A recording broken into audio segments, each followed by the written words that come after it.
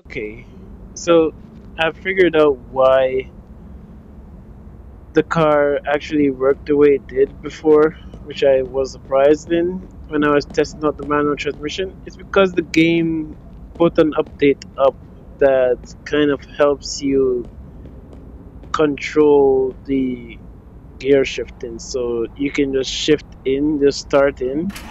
Kind of defeats this purpose of revving up you can just shift in the first gear with the clutch and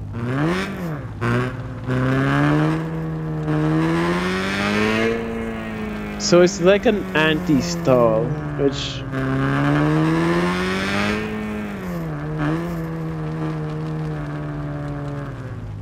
see no matter what normally I would have stalled here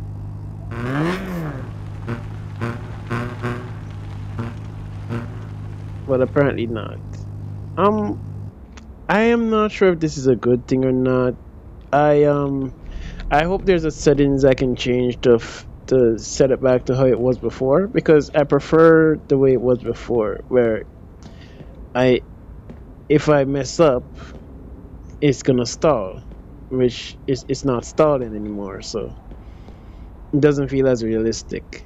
But let's get on to the video that we want to talk about today. Today we're gonna be talking about the customization of this game, and there is a lot of customization, and I am very impressed with it. First of all, let's talk about the engine. I won't go into details with all of these upgrades but i'll just briefly go over them and some of the things that that they do if i need to explain it like in this engine setup you can buy your engine as is in the engine market and it will sort by compatibility when it comes down to engine swaps which means that i don't know if i can switch to incompatibles but it seems like I can't. But it is amazing the amount of different engines that are available for this car, the name of them, and it shows you what engines are in your inventory. Aside from that, with each engines you have a lot of things you can customize from the engine block to engine head the fuel system the air system and not only that inside say the engine block there's different components of the engine block that you can customize like the pistons the flywheel the connected rod the block inline and these are things that i will go into in future videos.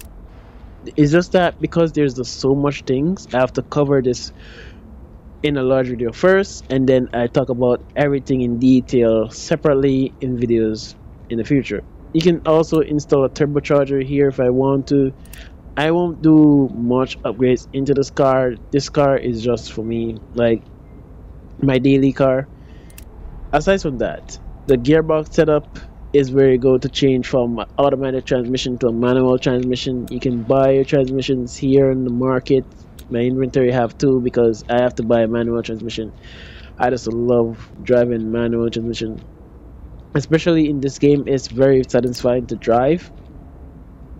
You can change things like the clutch and the front LSD and this one is a little bit different because there's this a basic swap even so you can actually do your tuning right here. And the next nice thing is that the basis of the engine is a flat straight. Now it wouldn't be like that on a graph and I would want to get too technical with it but tuning it would have been great to have a graph but given the fact that they have a dedicated tuning area in the game tuning is going to be a lot more realistic and a lot more predictable than in let's say street racing where you have to like figure things out on the fly. So this is going to be really nice when it comes down to the gearbox setup. The suspension setup is so comprehensive. This kind of level of details rival a game that i really really love and that is forza horizon 4 and forza horizon 5 and the details that i'm seeing in this it means that I can build my favorite drift car in this game and it will work like how I want it to work. Like for me, my most satisfying drifts has been in Forza Horizon 4 and Forza Horizon 5. It's I have so much control. I always feel like I have so much control and when I what what I do when I drift, I feel like the input that I put in is the exact same input that would have happened in real life if I was drifting. So the drifting experience in Forza Horizon is honestly the best ever, and I think this may may be the game that actually could do it if the physics actually match real life. We'll see about that. I I don't want to get too far off topic, but when you play this game, um, car parking multiplayer one, there are times when it's like the car will just spin out by the slightest movement of the steering wheel, and I hope that might not be the case in this game. So I won't go over everything here and the details of it. As I said, I will go over this in a completely different video because of how comprehensive it is. But this is a, has a lot of features like your alignment, your camber, your steering angles, casters, all these things I'll explain in future videos, but I'm just going over them. Spacers, which is good for giving the car a wider track, and I'll explain that in future videos, of course. The anti-roll bars, which stiffen it is better for oh my Ooh. the springs actually too. You can set up how soft you want the springs in the rear in the front. How high you want the ride height to be. Here you can set that up to your bumps which this has to do with how stiff your your, your suspension is gonna be. Like how much movement you're going to have your springs to have. Like obviously if you're doing off-roading you want your springs to be very soft to actually take as much oh i don't want to go into details man. Because if i go into details this video is going to be so so long and i'm trying to make it as short as possible. The fast rebound stiffness your, your rebound again. Oh my there is just so much things that i want to talk about but if i start talking about it in this video it's going to take so long the maintenance setup. This is the something that impressed me the most. In the maintenance section you have your tire conditions and it tracks each individual tire the both right to left uh, right to right and left rear and and and front tires. It tracks the health of it it tracks your air pressure of your tires and this is important when it comes down to building a drag racing car or a drift car and i'll go into details when i'm building specific cars for that in the future your oil condition this is insane I think this feature is gonna be amazing. The um because changing your oil is something that a lot of people don't do when it comes down to maintaining their car. So this is gonna be a good example to show people how important it is to keep an, a check on your engine oil, which is ridiculously good. Your car cleanliness, which you want to keep your car clean at all time, you know. So that has to do with car wash and stuff like that. And your fuel, which is what you're gonna need to go where you wanna go in the game. It also keeps a lot of um, details. It's a six gear manual transmission. I have five five k miles on it already. Manual transmission, of course, and the weight is at that level. Visual tuning, it's a lot of stuff. Like this is the body and there's a lot of stuff in the paint you can choose your paint and stuff like that the rims i think there's a lot of rims and we can't really go through all of them right now because i'm trying to make this video as short as possible flags i think these are flags that you can put on your car uh, this is like decade um, your brakes i don't know why these brakes are here but i don't know why this is not good. Because I think brakes have a definite effect on how should I say it? Your, your, your performance of your car and I think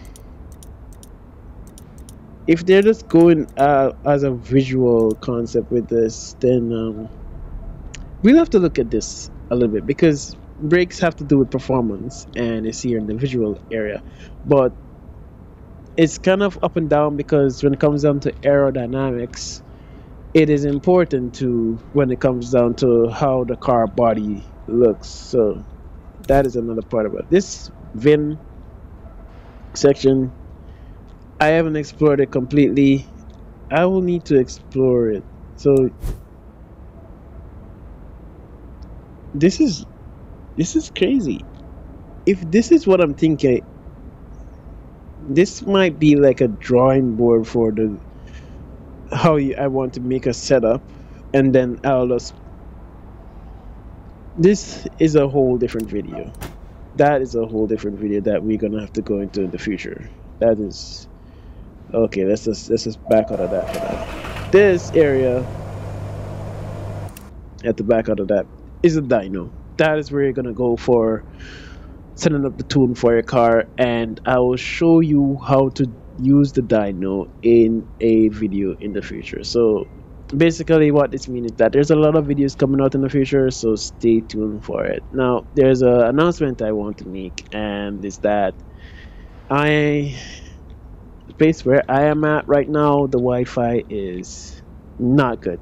So uploading high quality videos take like forever which is why I don't want to make this video too long or any other video too long. It's why I have not been on street racing either for a while as well because unless the internet situation improves then I can upload more frequently and other stuff like that. But until then I have I won't be uploading as much but these ah, this this very much piques my interest, and it's been a long while since a car racing game piqued my interest.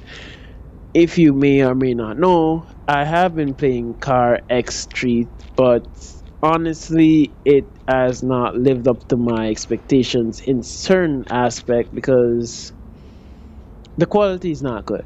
Basically, the rendering was done lazily on mobile I know the rendering might be a lot better on PC on PC Xbox, but I am I don't feel like purchasing Car Street. Maybe I will. Maybe I will. On Xbox in the future, maybe I will. But for now, when it comes down to mobile racing, it was street racing. There is an update that is about to come for street racing. I'm looking forward to see what changes in that. But I had uh think I was thinking of creating a car racing game for mobile and car parking multiplayer 2 kind of deterred me from doing that because car parking multiplayer 2 has pretty much done everything that I was going to do in making a car racing game. And I think if this game lives up to what I am expecting, then of course I will enjoy it. And expecting Forza Horizon 4 quality is too much, but this is the closest competitor to that kind of game on mobile, and I'm going to be playing this game a lot. I haven't moved from the garage yet because I've been trying to make these videos for you guys and check out everything and after I finish making all the videos that I need to make in terms of the car settings then I will go out and do some driving around and stuff like that and uh, start actually playing the game. So thank you guys. I hope you enjoy. And don't worry about the questions about anything in the car settings. I will explain everything in detail in the future so don't worry. I'll see you next time